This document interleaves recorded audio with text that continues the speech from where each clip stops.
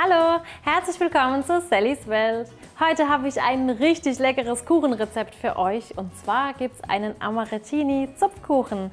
Ich habe hier im Prinzip meinen russischen Zupfkuchen abgewandelt, habe einen Amarettini Bröselboden gemacht, hier oben drauf natürlich auch noch Amarettini Kekse und Mandeln. Also Amarettini sind kleine italienische Kekse und die sind wirklich super lecker.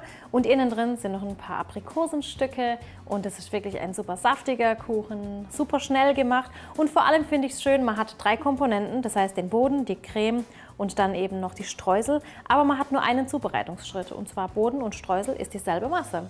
Ich zeige euch jetzt zuerst einmal die Streuselmasse und dafür die Zutaten, die wir benötigen. Fast verhaspelt, aber egal. Für den Boden und die Streusel brauche ich 250 Gramm Amarettini-Kekse, 200 Gramm kalte Butter, 250 Gramm Mehl, 75 Gramm Zucker, eine Prise Salz und einen Teelöffel Backpulver. Zuerst kümmere ich mich jetzt um die Kekse. Statt Amarettini könnt ihr zum Beispiel auch Spekulatius verwenden und die werden jetzt einfach zerkleinert. Ich nehme jetzt dafür hier diese Reibe. Ihr könnt sie aber auch gerne in den Gefrierbeutel reinfüllen und dann mit dem Nudelholz draufschlagen.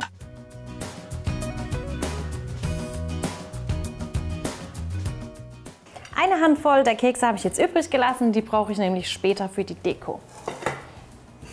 Die Kekse gebe ich jetzt hier in eine Schüssel rein und ihr braucht jetzt auch dafür keine Küchenmaschine und auch kein Handrührgerät, denn ich werde jetzt die Streuselmasse einfach mit den Händen zusammenfügen. Also jetzt kommen einfach noch die restlichen Zutaten mit rein. Butter, Mehl,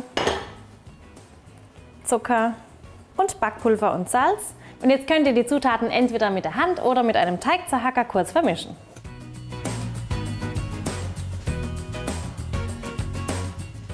Jetzt fülle ich zwei Drittel der Streuselmasse in meinen vorbereiteten Backring. Den habe ich bereits auf 26 cm eingestellt. Und das ist wirklich eine ganz tolle Masse. Ich benutze jetzt nämlich einmal für den Boden und einmal für die Streusel. Und jetzt könnt ihr hier die Masse am Boden festdrücken und auch einen kleinen Rand nach oben ziehen.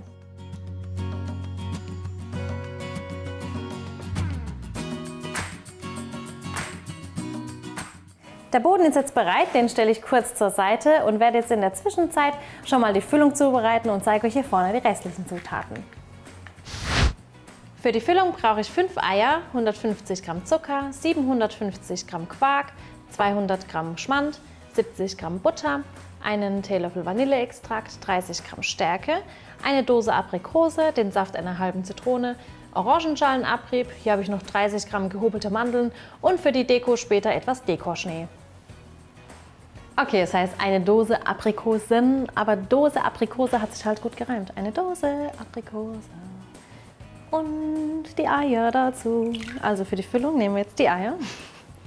Die kommen jetzt in die Schüssel, werden gemeinsam mit dem Zucker ein wenig schaumig gerührt.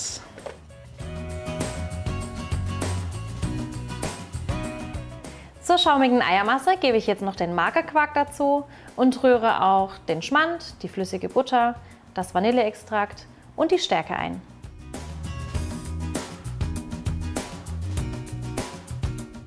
Zum Schluss verfeinere ich die Füllung noch mit dem Zitronensaft und mit der abgeriebenen Orangenschale. Und jetzt fülle ich die Creme hier in den Tortenring.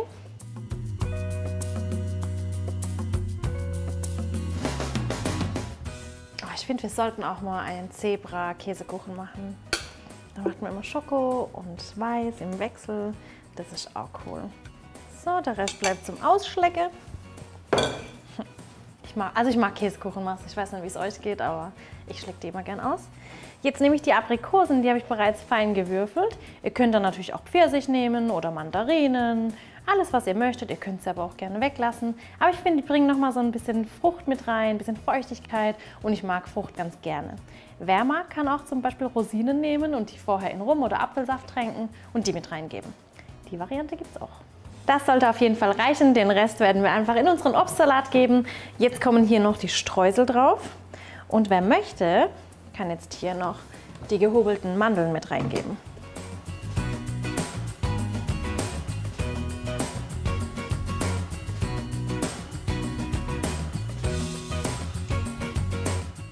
gebe jetzt hier noch ein paar Amarettini drauf.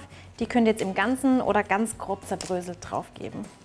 Der Zupfkuchen wird jetzt im vorgeheizten Backofen bei 170 Grad Ober-Unterhitze für etwa 70 bis 80 Minuten gebacken.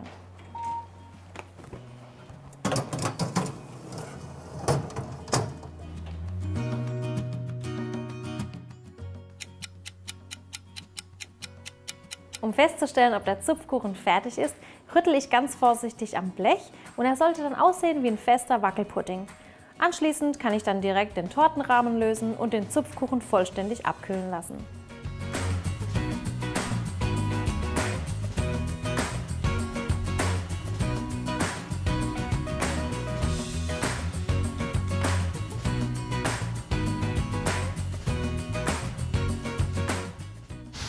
Ich habe jetzt den Zupfkuchen vollständig abkühlen lassen und ihn dann auch noch für eine Stunde in den Kühlschrank gestellt, damit er jetzt schön kalt ist. Und ich habe ihn dann anschließend mit etwas Dekorschnee bestreut. Das ist ein Schnee, der einfach nicht drauf schmilzt. Ein richtig schöner Puderzucker. Und jetzt wird er angeschnitten.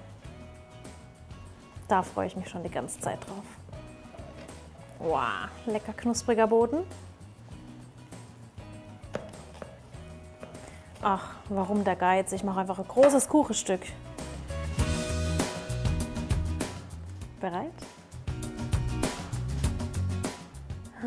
Oh mein Gott. Sieht der nicht gut aus?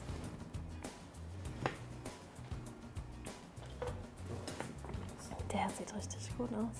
Und wisst ihr, was da jetzt noch der Oberhammer wäre? Wenn man jetzt noch so einen selbstgemachten Kompott macht aus Orange und Aprikose und das so ein bisschen drüber träufeln lässt. Mega. Leider, leider ich sag's nochmal, leider ist der Murat nicht da. Der ist gerade auf Reisen, ganz weit weg in China. Daher muss ich mich jetzt opfern und diesen Zupfkuchen für euch probieren.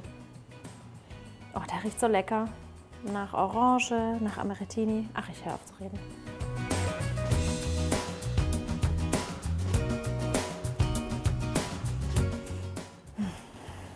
Ich muss aufhören, ich muss gehen.